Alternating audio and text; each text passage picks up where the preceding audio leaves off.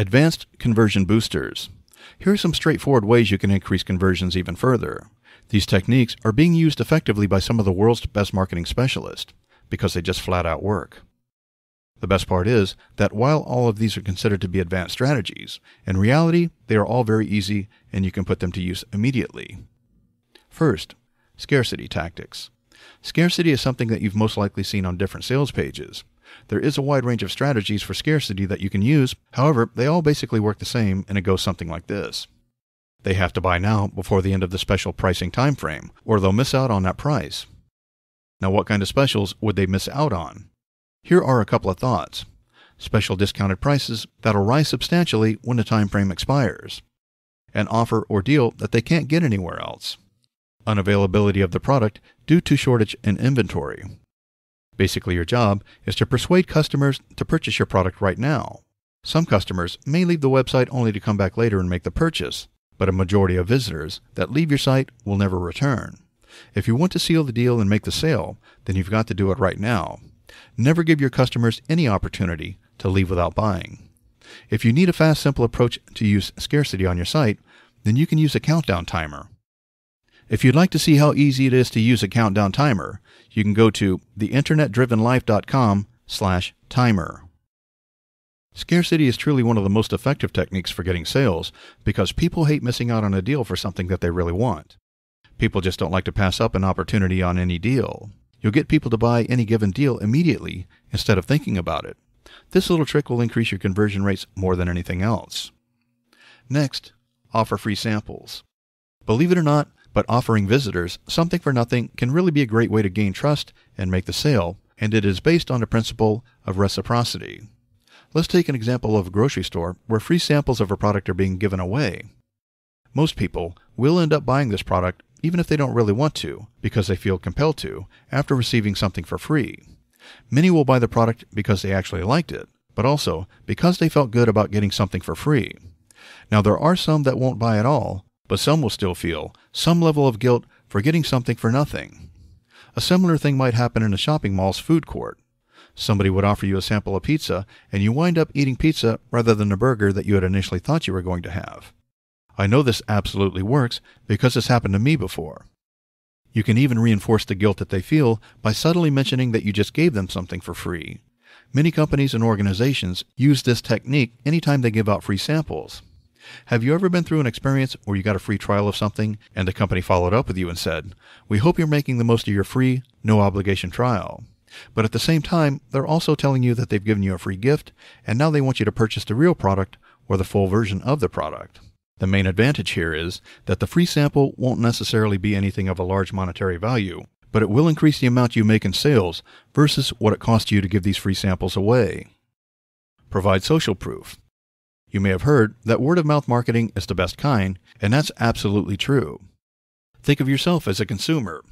When you buy something, if someone you knew or trusted gave a product a five star rating, this is simply because people trust each other a lot more than they trust advertisers or marketers. As you know, this is no big surprise because most consumers are very skeptical. There are different kinds of social proofs that you can use on your website to increase your credibility. Some of these include video testimonials, Video testimonials are an excellent way to gain trust because visitors see the feedback is coming from people that have really made a purchase. Of course, it could be your mother or most loved cousins to begin with. However, it will help only if the feedback is genuine. Testimonials. These alone most likely won't do much by themselves unless you reinforce them by including names and pictures of actual purchasers. Offsite reviews. If you can find people to offer positive feedback on their own sites, your product will sell more because of this third party endorsement. Your products will basically be pre sold when visitors land on your page from someone else's recommendation. Be sure to link to these reviews from your site. Case studies. Another excellent type of social proof is case studies.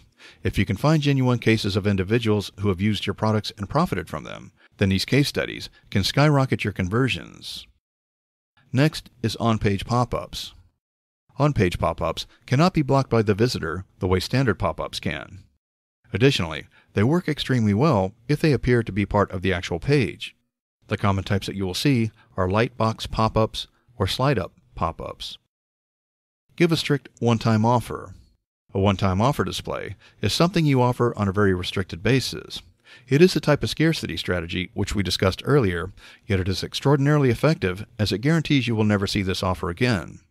If you offer this, make sure you only offer it once so your credibility doesn't take a hit. If they see the same offer again later, they will never believe you again.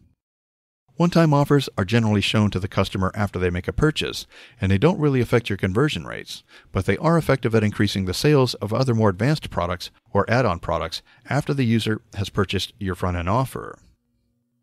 Offer various payment options.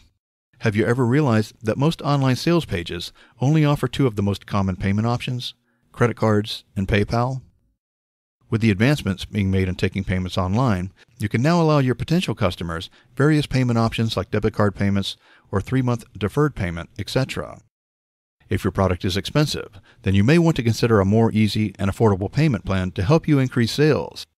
One of the easiest ways is to break the payment plan into three months of deferred payments. For example, many would find it difficult to pay $200 at one time for a tablet, but they would be able to afford it in three installments.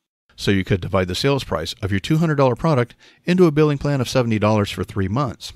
And then you would actually earn an extra $10 for the same product just by letting the user pay in installments. Try it and see the increasing conversions for yourself. Know your USP. USP? What does that mean to increasing your conversions? Well, USP stands for Unique Selling Proposition, and your USP is something that will separate you from your competitors in the eyes of your prospective customers. Remember that a USP does not need to be unique to whatever you are selling, and it might already be available in all of your rivals' products. It is simply unique to your company since you highlight that feature and your competition doesn't. A well known case of a USP can be demonstrated with Claude Hopkins taking a tour through the Schlitz brewing plant. While there, Hopkins saw the empty beer bottles being cleaned with steam. The plant manager told him that he didn't think that they could use the steam cleaning of empty bottles in the advertising because every beer company did exactly the same thing. Hopkins understood that the normal consumer had no idea about this part of the process, so he highlighted this information in the Schlitz campaign, and sales skyrocketed. So remember, your USP isn't essentially about being one of a kind. The USP is about telling your client something that's unique about you or your product.